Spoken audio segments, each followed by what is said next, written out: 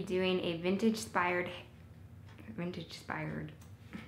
Hey everyone, today I am doing a highly requested video and that is a vintage style hair tutorial. So you guys have been noticing lately that I've been trying out some vintage inspired hairdos.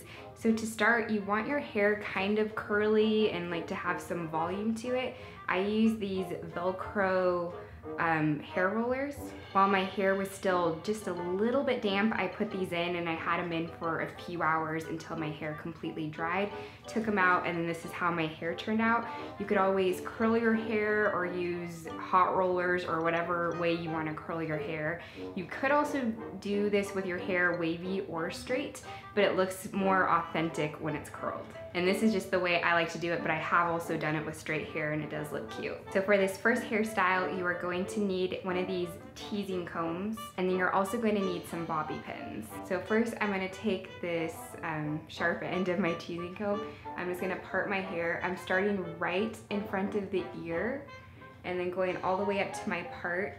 And as you can see, I have a side part. You can do this with a side part or a middle part. It's all up to you and then I'm gonna back comb it.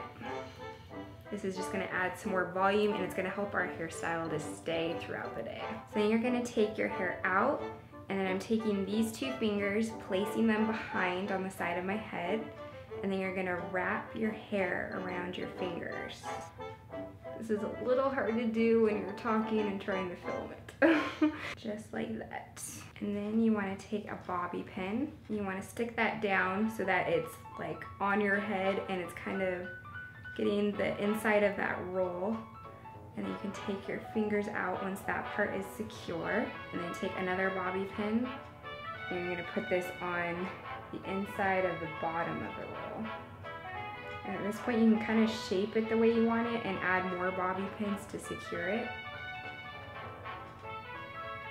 As you can see, I have this little bang hanging out, which is fine. If you don't want your bangs hanging out, you could just use more bobby pins to um, hold it back, or you can use hairspray. And I'm gonna basically do the same thing, but on this side.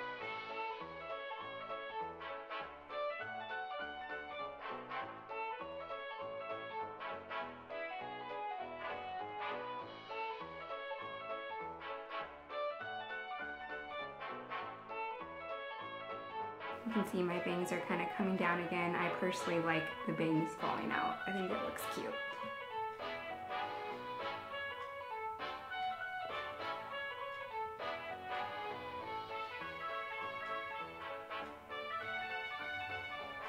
I hope you guys enjoyed this vintage inspired hair tutorial. If you did, please give it a thumbs up and let me know in the comments below any video requests that you have for Brylan and I. I love you all so much. Remember to do everything in love because you are lovely. Bye.